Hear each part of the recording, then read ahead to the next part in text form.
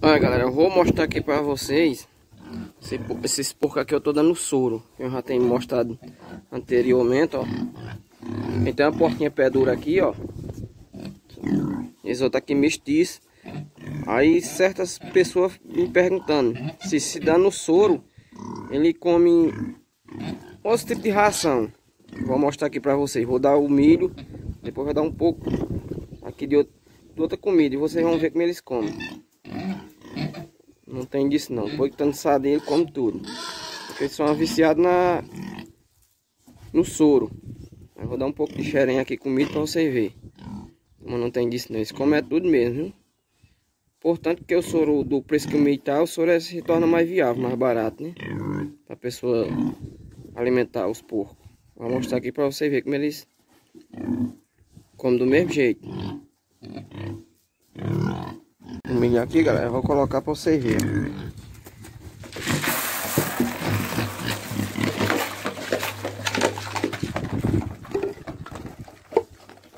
Você vê como eles comem. Estão de eles comem tudo.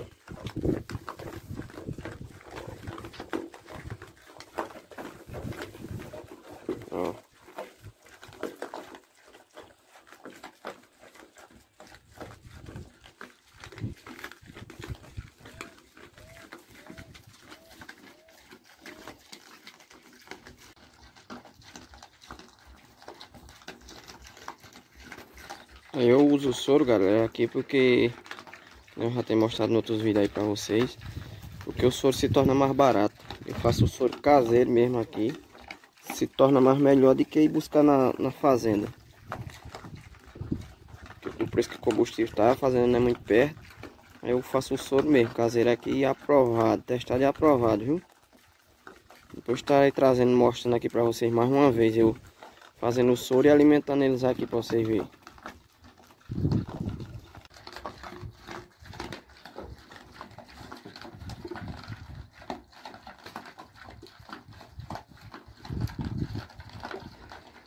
Você chegou no nosso trabalho, galera. Se gostar, se inscreva, deixe seu joinha para não estar nos fortalecendo. Eu estou trazendo mais coisa aqui no nosso sítio aqui, do nosso sertão e do, do nosso Nordeste.